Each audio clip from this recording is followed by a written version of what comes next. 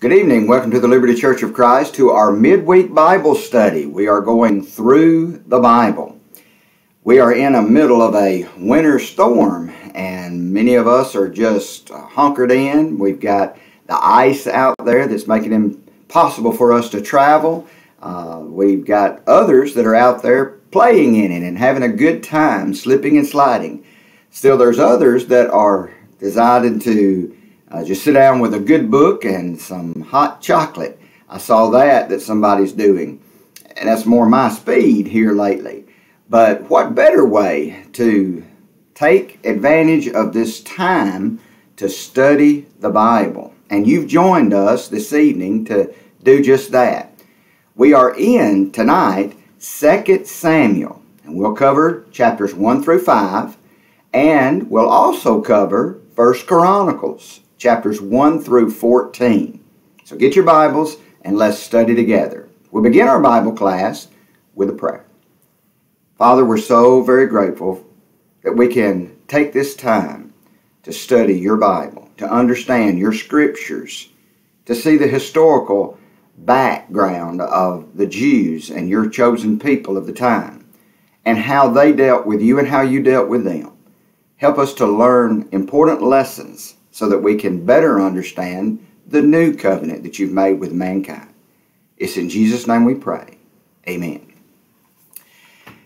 It's about a thousand years before Christ was born, and David is going to be the next king appointed over Israel. Saul was the first king. He was anointed by Samuel, who was the last judge. Now, Saul has died at the end of 1 Samuel, and the record of 2 Samuel begins. And it coincides with another record that we have in the Bible called 1 Chronicles. So tonight, let's go to 1 Chronicles and catch up to the point where David is made king. And that is the first 14 chapters. Let's look at First Chronicles chapter number 1. We begin these chronicles with a genealogy of the folks prior to King Saul and King David. It leads us up to them. We see in chapter 1, we have the lineage from Adam to Abraham. And we've studied that as we went through the Genesis. We also saw Abraham's son in chapter number 1, Ishmael, or rather Isaac, and then we saw Isaac's children, Jacob and Esau. In verse 54 of chapter 1, we see the dukes of Edom. Edom is Esau. So the Chronicles wants to chronicle the genealogy of Esau or Edom. And he does so in chapter 1. Chapter 2, he picks up with Jacob, Esau's twin brother, who we know as Israel. In the first uh, couple of verses, he names all of Jacob's 12 boys, the 12 tribes of Is- Israel. Now, beginning in verse 3, he picks one of those boys and he follows his genealogy. And that boy is Judah. Now, we know that Judah is actually Jacob's fourth son. There was Reuben, Simeon, Levi, and then Judah. Why did he start off with his fourth boy? Well, most likely it's because of David. David is in the tribe of Judah. And so the individual that is inspired by God to write the Chronicles is wanting to follow David's lineage. And he's wanting to follow Saul's lineage to get to his text? Well, David in chapter number 3 is listed in his genealogy and follows his family. In chapter 4 of First Chronicles, there's more on Judah's lineage, but it also picks up with Simeon's lineage in that chapter. Want to note something here while we're following Judah's lineage in chapter 4 of First Chronicles. The chronicler decides, through inspiration of the Holy Spirit, as he's listing this genealogy, to pause in chapter uh, 4, verses 9 and 10, and mention somebody quite special. It's all we hear about him is those two verses in the whole Bible. His name is Jabez. Look at chapter 4 of First Chronicles, verse number 9 and verse number 10. We see that Jabez is given that name by his mother. And his mother gave him the name because while she was bearing him, she had a lot of problems. Now, it may be that it was a poor family and he's another mouth to feed, and that was the problem. Could be that she was having difficulty during her labor and giving him birth. But for whatever reason, she named him Jabez. Jabez means pain causer. How would you like to go all through your life being called pain causer? Come over here, pain causer. Well, that would be difficult. Another word that can be translated from Jabez is sorrow. All through his life, he was reminded of the sorrow that he caused his mom and his family. Well, he had a special prayer there in 1 Chronicles chapter 4, and it's got four parts to that prayer the prayer of Jabez. And it's a prayer that you and I can pray. May be helpful to us. The first part of that prayer, he says, Bless me indeed. You know, we should ask God to bless us, bless us to glorify Him, bless us to bless others. But we need blessings. We know that all good things come from above. And we need God's blessing. And it's and it's no shame to ask for God's blessing. In fact, God wants us to ask for it. We have not, James says, because we ask not. We need to ask for God's blessing. But the second part of that prayer is enlarge my coasts. Enlarge my borders. Enlarge my boundaries. Now, he's not necessarily asking for more property. He's asking that his area of influence be enlarged. That's what we can pray. God, if you will bless me indeed, I will use those blessings to help others. And I need that more people will be influenced by me in a good and a positive way. So, God, enlarge my influence. The third thing is, Thy hand be with me. Once God blesses me, and blesses me indeed, and I start influencing more and more people, I need the hand of God with me. I need God to guide me. And then the fourth part of that prayer, and the final part, keep me from evil. You know, there's evil all about us. And Jabez prayed to God that he would be kept from evil. Now that's kind of an, a two way. I want to be kept from the influences of the evil world that may hurt me and do bad things to me, but also I don't want to do evil in the world. I don't want to accomplish bad things. So I need to pray that prayer. God, protect me from the evil influences of the world, but don't let me be an evil influence on the world. There's a purpose for that prayer given, and here is that purpose that it may not grieve me. In other words, I don't want to cause pain. I'm Jabez. I'm a pain causer, and I don't want to cause pain. I don't want to be sorrowful to others and cause sorrow in others' lives. So, God, if you'll bless me with these four things, I can be more helpful to those about me. What a great prayer! The prayer of Jabez. But in chapter 5, we learn that the chronicler is giving more genealogies for the tribes of Jacob. And we see in chapter 5 there's Reuben, Gad, and the half a tribe of Manasseh. Now, you remember those in our study already. These were the two and a half tribes that wanted to settle on the east side of Jordan, while the other tribes settled on the west side of Jordan. In verse 26 of chapter 5, we learn that it's they were carried away into captivity because of their idolatry. That's going to happen to uh, all the tribes eventually. Well, in chapter 6, it picks up with another tribe, Levi. Levi, of course, is the tribe that Moses and Aaron were members of. In verse 25, we see another person that we remember in our study Elkanah. You remember Elkanah in 1 Samuel chapter 1 verse 1. He is the father of Samuel. In chapter 7, it picks up with Issachar, Benjamin, Naphtali, Manasseh, the other half tribe, Ephraim, and Asher.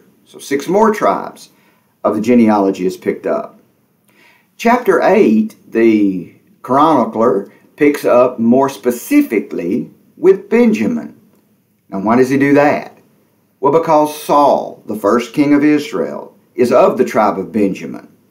And we see in verse 33 of chapter 8 where Saul was born and how that he was in that tribe. Make a note, interestingly, that Dan is not mentioned in this list of tribes. We don't know exactly why. It's uh, suggested it's because of what uh, the Danites did in Judges chapter 18 when they took that Levite and then they stole some uh, false gods and some idols. Uh, that could be the reason that God didn't include them in the genealogy here. Now, the Danites still exist. We're going to learn that from 1 Chronicles chapter 12, uh, verse 35, that there are some Danites around, but, but they're not listed in this genealogy. It's interesting to note, too, in the Revelation, chapter number 7, when it talks about the 144,000, which was 12,000 from each of the 12 tribes. There, there were 144,000 if you multiply 12 times 12,000. But Dan is not listed in that group either. Just something very interesting to note. Chapter number 9 of First Chronicles, look at verse 1. So, all Israel were reckoned by genealogies, and behold, they were written in the book of the kings of Israel and Judah, who were carried away to Babylon for their transgression. So we're going to see more of that as we study 1st and 2nd Kings, and then following that in the historical record. In chapter 10, First Chronicle records the death of Saul. And you remember that as we studied last time in 1 Samuel chapter 31, how that Saul was wounded in battle and he asked his armor bearer to kill him because he didn't want to be captured by the Philistines and tortured and humiliated. The armor bearer wouldn't do it, so Saul fell on his own sword.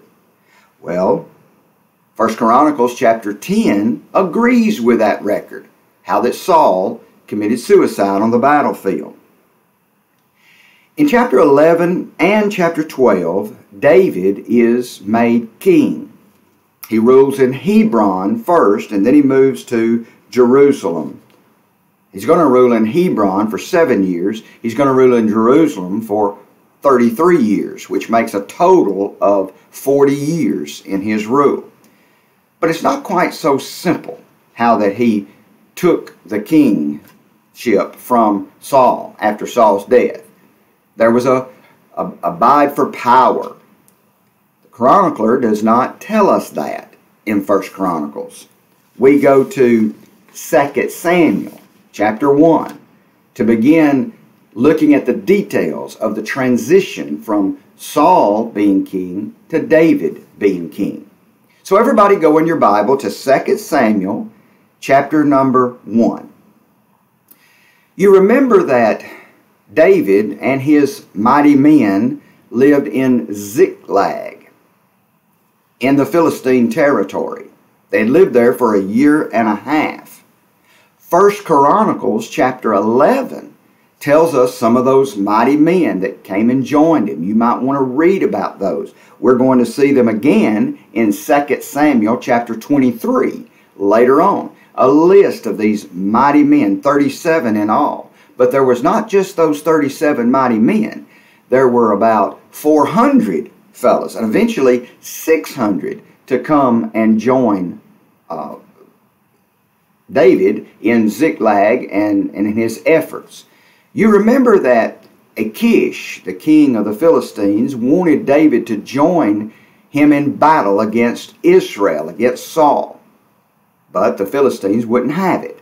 So they sent David back to Ziklag while they went and attacked Saul. When David and his men got to Ziklag, you remember that it had been burned by the Ammonites and their wives had been taken. David had went and rescued their wives. On his way back from that uh, rescuing uh, venture, he meets a man. The man has got his clothes ripped. He's, he's got dirt on his head. He's in mourning. David comes to him and said, Where are you coming from? Well, the man had been in the battle that the Philistines had waged against Israel, where they had killed Saul and his son Jonathan. And the man tells him, I have just come from the battle. David said, Well, how did it go? The man said, We lost. It was awful.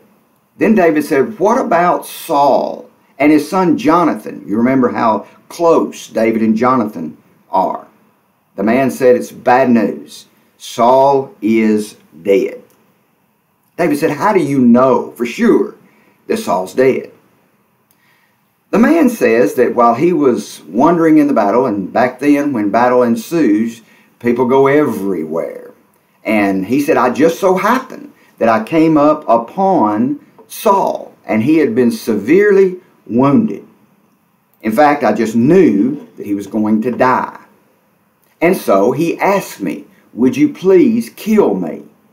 Well, I, I did it. I killed Saul. I put him out of his misery. Didn't want the Philistines to take him and humiliate him. Now, that seems to contradict what we learn in 1 Samuel 31, where Saul fell on his sword and committed suicide. Or what we learn in 1 Chronicles chapter 10, where it tells the same story. It doesn't even mention this guy that came up and, and killed him. And it could have been that the guy did come up and find that Saul had been wounded in the battle. He had attempted to commit suicide and he's and he's still not dead.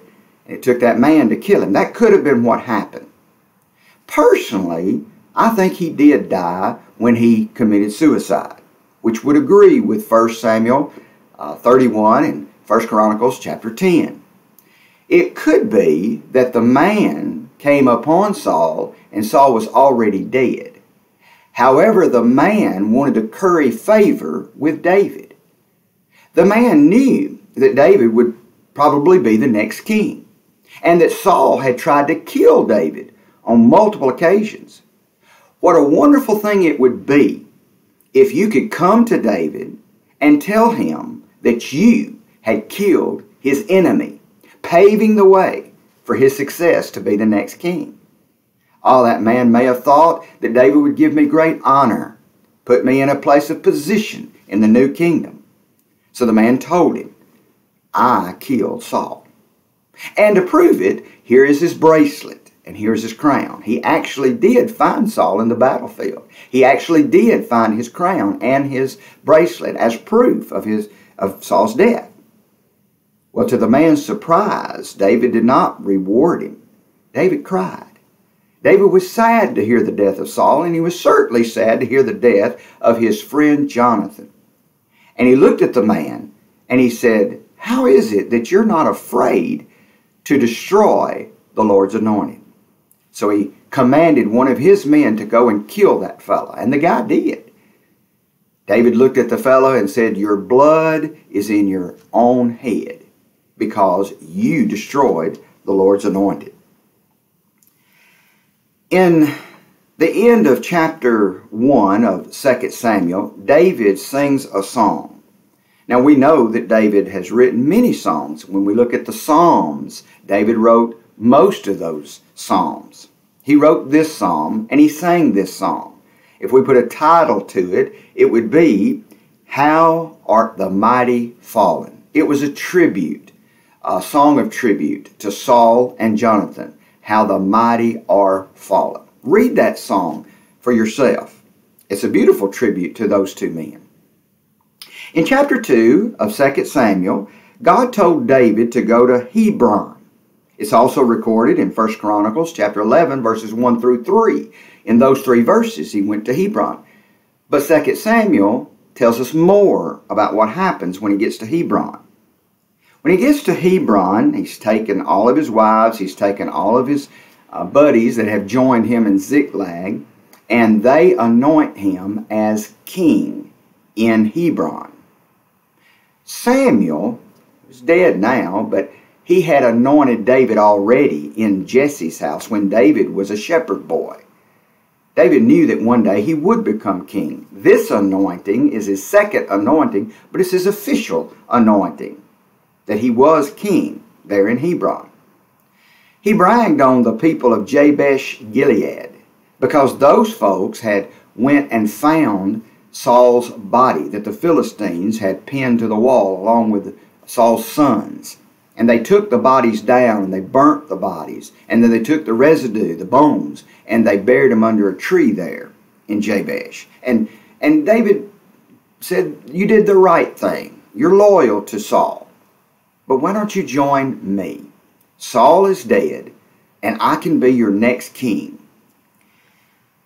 Abner, who is the chief captain of Saul, would have nothing to do with it. He didn't want David to be the next king.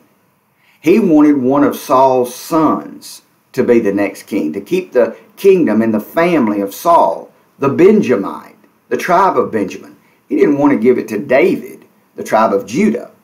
So he took one of Saul's boys, Ishbosheth, and he put him to be the king. Abner was popular as the chief captain of Saul's army, and it wasn't hard for him to uh, convince his people to acknowledge Ishbosheth, the son of Saul, to be the next king. So Ishbosheth ruled in his area for two years. His area included about 10 tribes. Uh, we know them as the tribes of Israel. There's 10 of them. And then down south are two tribes, Judah and Benjamin.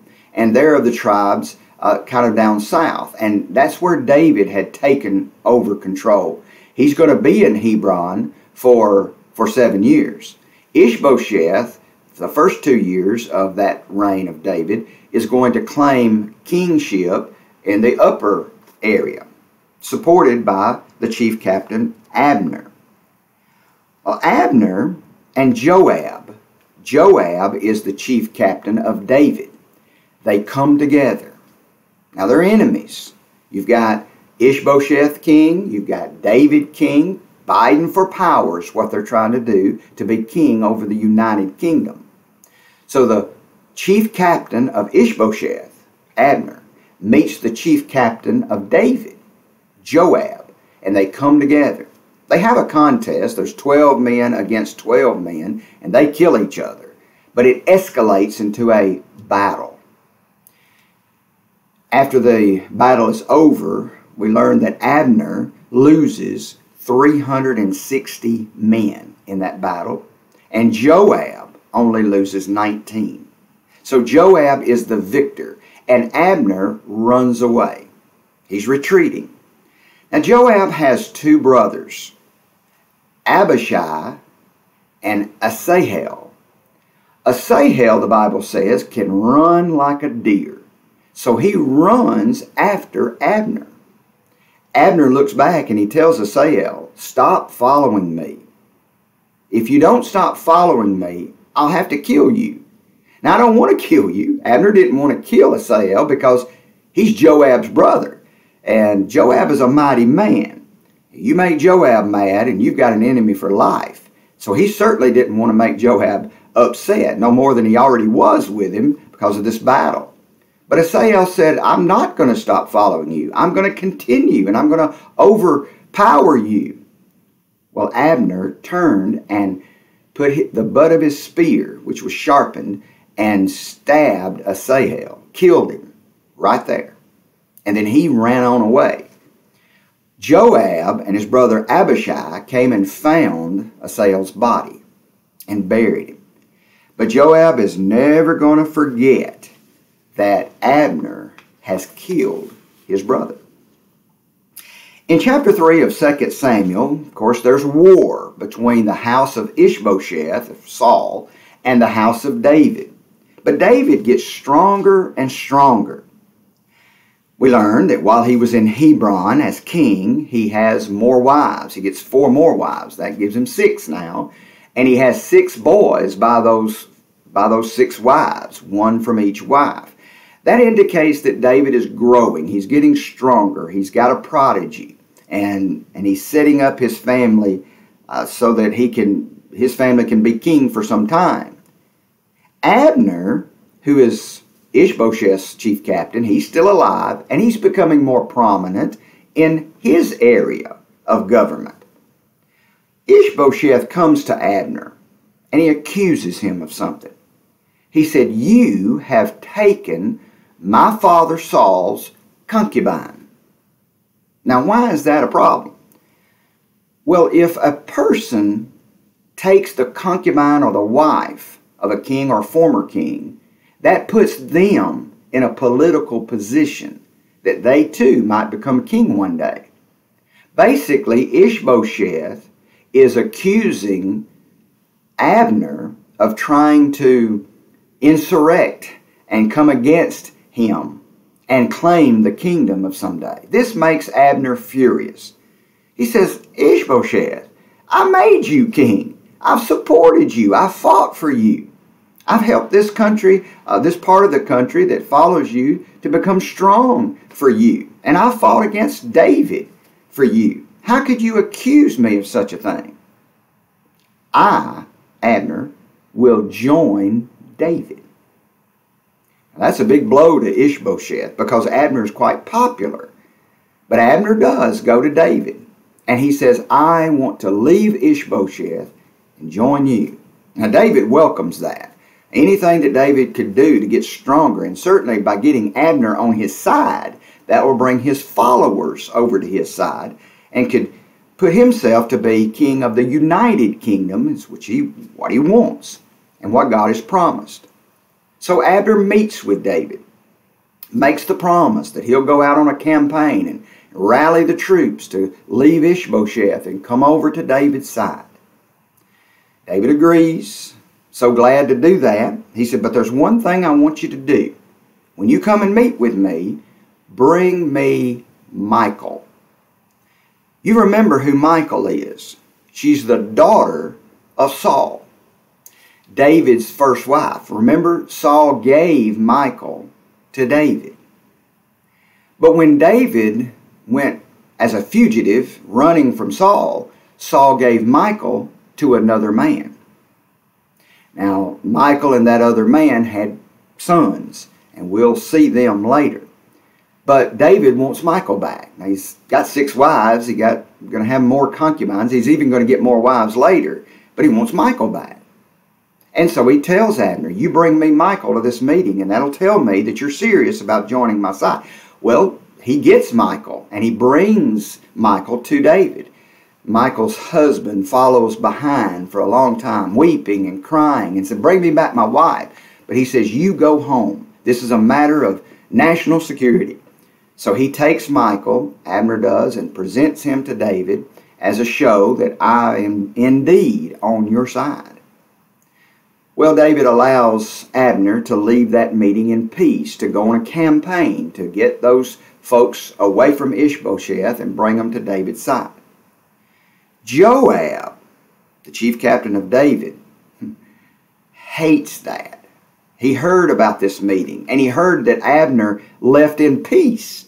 So he goes to David, Joab does, and says, Why did you do that? Why did you uh, allow Abner to come here and have this important meeting with you? Don't you know that Abner can't be trusted? Joab doesn't trust Abner at all. He is the chief captain of the enemy, Ishbosheth and he also killed his brother. So he is furious that David has, is even entertaining this coalition between Abner and David. So Joab leaves David, and somewhere in a dark alley, he and his brother Abishai murder Abner. Now, this sends a wave of confusion throughout all of Ishbosheth's people.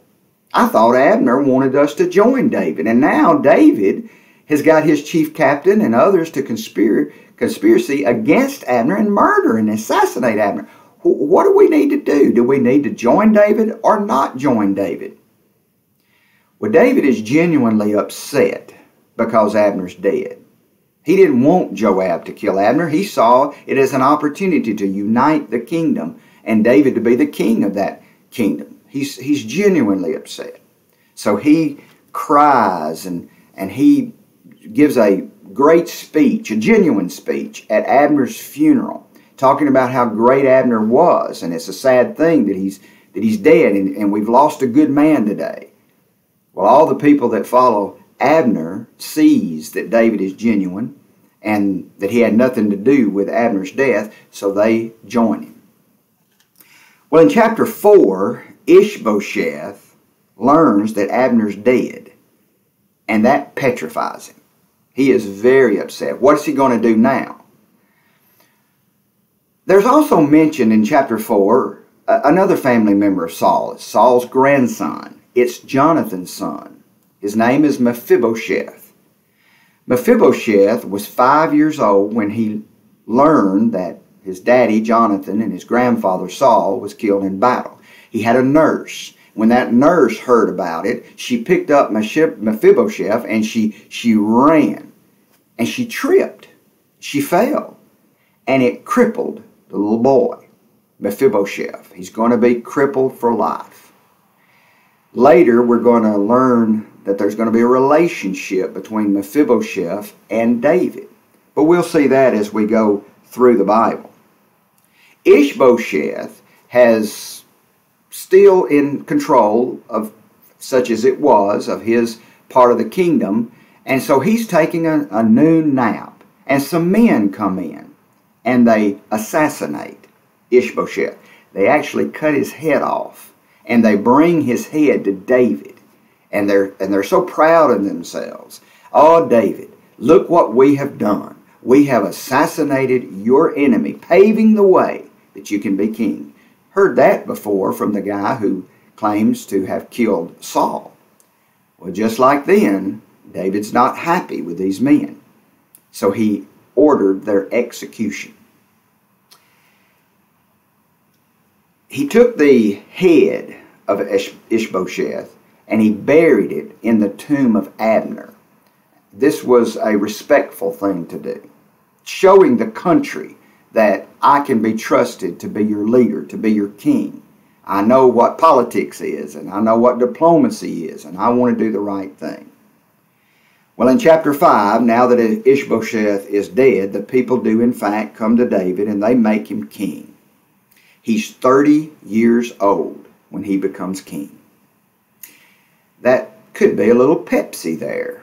Pepsi, P E P S I, a physical example portraying spiritual intention. David was 30 years old when he became king. Jesus was 30 years old when he started his ministry. And there's so many Pepsis between David and Jesus, as we see as we go through the Bible. Well, after David was made king of the whole country, he decided to move the capital from Hebron to Jerusalem. Now remember, he's going to be in Hebron for seven years, and he's going to be in Jerusalem for 33 years, a total of 40 years. But when he makes the decision to move the capital to Jerusalem, he calls upon the Jebusites. The Jebusites are the people who live in Jerusalem and they're in control of the territory. And he asks the Jebusites, Give me your city to be the capital city of the whole country. Should have been an honor, perhaps, but the Jebusites say, no, we're not going to give up Jerusalem. Well, David took it, and he established Jerusalem to be the capital city of the country anyway. Hiram, who is the king of Tyre, a neighboring country, wants peace with David, and, and he has obtained that peace. He's, Tyre is a place where if you want uh, cedar trees, that's the place to go to get it in his territory. If you want to build something out of cedar, they have the best. So he sends a bunch of cedar trees down to Jerusalem, along with carpenters and masons, and he he builds a house for David there in Jerusalem. Oh, it's a beautiful house. This is also recorded in First Chronicles chapter 14. Read all about that uh, incident of how he honored David by building him his house. Now, while David was in Jerusalem, he took more wives, he took more concubines, and he had more sons. And we'll see some of those sons as we go through the Bible. The Philistines heard that David had become the legitimate king of all of Israel, and they wanted to stop him. Just like they had put down Saul, they want to put down David. So they go against David in a battle. Now God tells David, David, I will give the Philistines to your hand. You will be victorious if you follow my plan. Follow my battle plan. And when it happens, you'll be the victor. Well, David did, of course, follow God's battle plan, and it was his salvation. He won. That's a Pepsi within itself. God has a plan for our salvation. And if we will follow that plan, hear the Word of God, believe it with all of our heart, repent of our sins, confess that Jesus Christ is the Son of the living God, confess that we are sinners, and be baptized into Christ for the remission of our sins, rise to walk a new life, live faithfully. That is a, a plan that God has put together to save us under the new covenant. And if we'll follow His plan, we will have salvation. David followed God's physical plan, and he got a physical salvation from the Philistines. Well, tonight we covered 1 Chronicles chapter 1 through 14. Notice that we left off 13. It corresponds with 2 Samuel uh, chapter 6. We'll see that next time. But we also covered 2 Samuel chapters 1 through 5. And David is now in Jerusalem, set up as king over the united kingdom of Israel. But there's more to the story, which we will pick up on our journey through the Bible. We hope to see you next week. Let's go to God in prayer. Father, thank you once again for allowing us to study your Bible, and we pray that we will follow your plan because we know that your plan is salvation for all those who follow it. It's in Jesus' name we pray. Amen. Thank you so much for joining us tonight. We hope to see you next week. Be safe out there during this winter storm in our area.